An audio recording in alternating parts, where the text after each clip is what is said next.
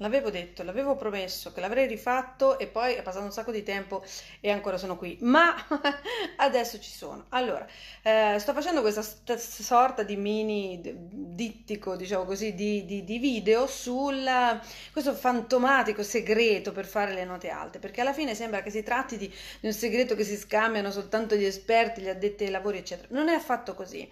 Per fare le note alte, cioè o meglio, per conquistare tutto il repertorio, tutto, scusate, tutte le estensione vocale dalle note più basse alle note più acute, serve semplicemente di allineare una serie di fattori.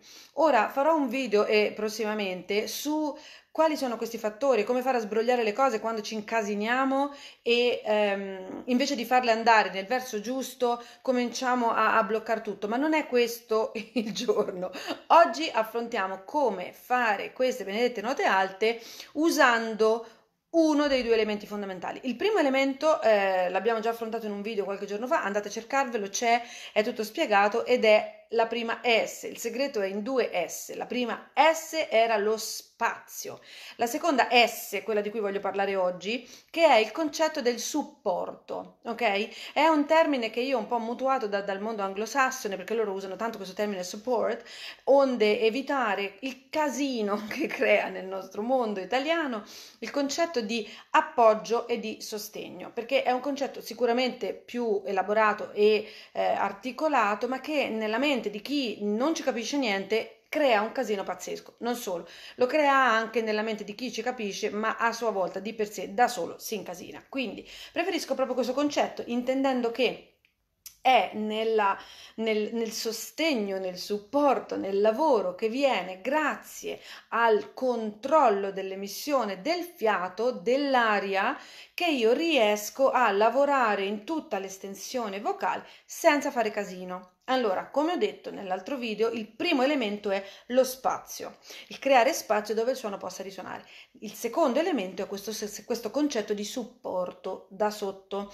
Allora, queste due cose sono fondamentali, così come nel concetto dello spazio, se io non creo lo spazio all'interno della bocca, il corpo in automatico andrà a cercarsi degli spazi creando compensazioni quando va bene o disastri quando va male, nel concetto del supporto dell'aria io ho bisogno di avere la chiara e la netta sensazione che questo arrivi dalla zona intercostale ma soprattutto addominale, ok? Questo fantomatico diaframma di cui tutti parlano e che nessuno riesce a gestire perché realmente è un muscolo involontario, ci circonda a 360 gradi davanti dietro, di là da tutte le parti ed è lui il muscolo preposto alla respirazione, ok? quindi io devo proprio imparare a capire come gestirlo pur non potendolo gestire e quindi come usare la muscolatura che gli è intorno e già la metà della gente mi dice oh mio dio e allora io vi faccio vedere adesso in maniera molto semplice quello che devo fare. La prima cosa il primo pensiero è eh, vedere gli sbagli che normalmente avvengono ok? Così mi piacerebbe tantissimo che provaste l'esercizio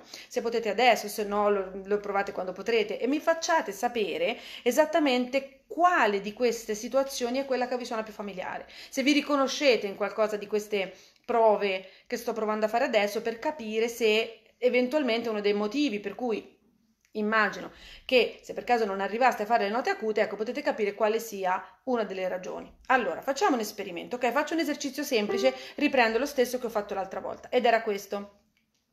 Ha, ha, ha. Ok, semplice, semplice. Allora, questo esercizio qui, ho creato lo spazio, ok, benissimo, lo spazio l'ho fatto. Adesso che cosa faccio? Uno degli errori, diciamo così, più comuni è che la gente non coordinando correttamente la respirazione da sotto, quindi da questa muscolatura corretta, che è invece quella che mi serve per gestire la respirazione, inizia a compensare utilizzando la zona delle spalle, addirittura le braccia in alcuni casi o appoggiandosi, cercando di appoggiarsi a una rigidità di questo tipo. Per esempio, uno degli errori più comuni è questo.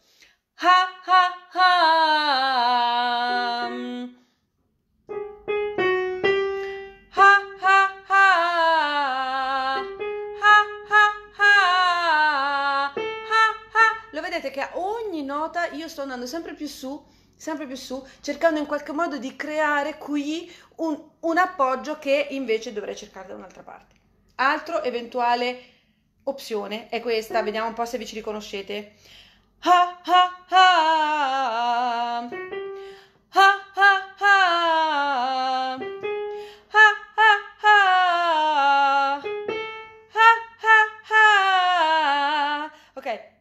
cosa sto facendo? Sto prendendo l'aria cercando in qualche modo di caricarmi con le spalle in modo tale che questa cosa qua ci sia, che questa sensazione qui mi dia la spinta che mi serve.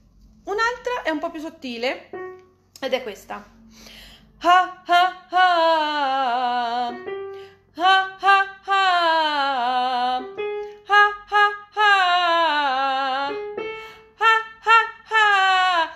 Cosa sto facendo? Sto cercando in qualche modo di, irrigidendo le braccia, di darmi una struttura. Ok? Tutte queste sono opzioni che se come dicevo prima, mi va bene perché sono una persona che già canta, che, che in qualche modo gestisce la propria voce, eh, diventano delle compensazioni che mi rendono la vita molto difficile, ma che mi permettono comunque di tirar fuori qualche tipo di suono. Quando io sono una persona che comincia da zero, non ci capisce niente, quando arrivo a fare queste note, col cavolo che le faccio così, se sto lavorando usando questi espedienti e quindi che ne so mi ritrovo qui la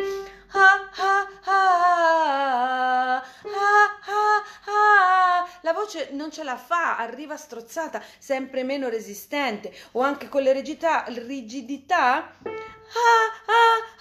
Perché non so da che parte prendere il suono Ora cosa devo fare invece in realtà? Dov'è la, la, via giusta? La via giusta è quella di lavorare correttamente con la sensazione di inspiro. E l'aria è come se fosse una goccia d'acqua, pum, che cade verso il basso, quindi inspiro e...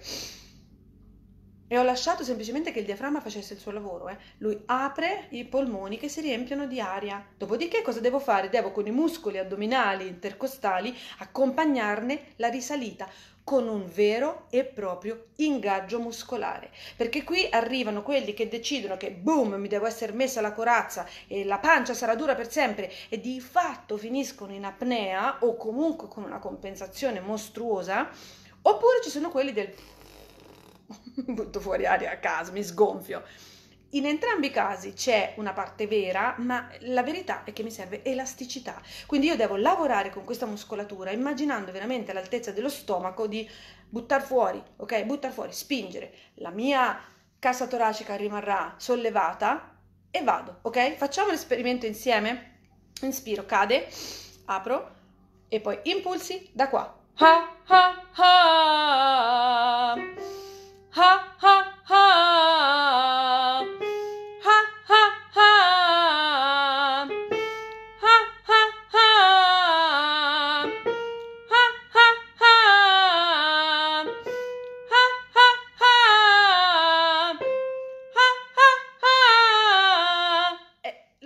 non solo potevo andare molto più su senza problemi, ma poi se voi potete sentire la pancia, la pancia sta lavorando, è come aver fatto gli addominali fondamentalmente, ok? Quindi, ricapitoliamo.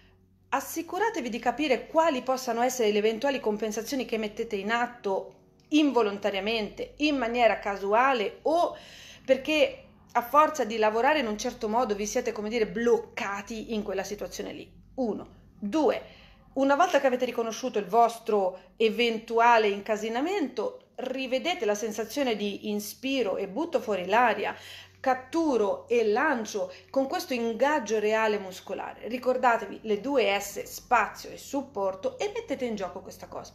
Dopodiché, come sempre, se vedete che questi video funzionano, che qualcosa ci state trovando, allora datevi da fare perché non basta un video così, serve, serve veramente di avere una struttura, un, esercizi specifici per la respirazione, per l'apertura, per la voce mista, per la maschera, per mettere insieme tutte le cose, affrontare il repertorio. Quindi trovate un insegnante, trovate un metodo, trovate un libro, qualsiasi cosa che vi permetta di lavorare. In questo momento online c'è di tutto, c'è chi si improvvisa, c'è chi lavora da tempo, cercate forse chi in qualche modo vi comunichi principalmente meglio le cose, ok? Per quello che mi riguarda, lo sapete, ci sono i miei corsi online, ci sono le lezioni individuali su Skype, adesso è tutto che costa pochissimo per cercare di andare incontro ai bisogni di tutti e li trovate sul sito cantafinoallestelle.com. E ora guardo se ci sono i vostri messaggi o vedo dei tanti buongiorni. E ok, allora Fatemi questo piacere, provate i vostri, ehm, provate questi esercizi, cercate di capire se e cosa eventualmente sbagliate, fatemi sapere e poi se dovessi vedervi nei miei corsi o nelle mie lezioni individuali sarò felicissima di darvi una mano più approfonditamente di così. Un bacio, si dirà approfonditamente.